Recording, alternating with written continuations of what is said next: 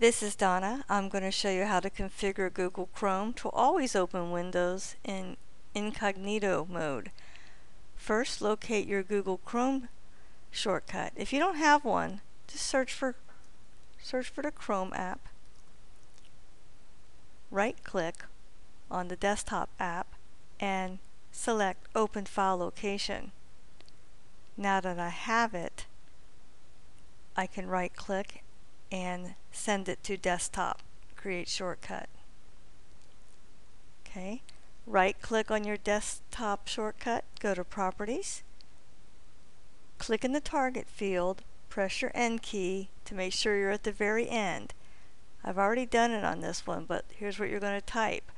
Space hyphen incognito. So space hyphen I-N-C-O-G-N-I-T-O and then press OK. It'll warn you that you have to be an administrator, so you may be prompted to enter credentials. Now when I open my browser, I have the little incognito guy up there, guy with little shades on. And if you lose your home tab, if you lose your home page, just go to click on the more menu, the horizontal bars, go to settings, Under Settings, on the On Startup section, select Open a specific page or set of pages. Just go to Set Pages and enter your home page.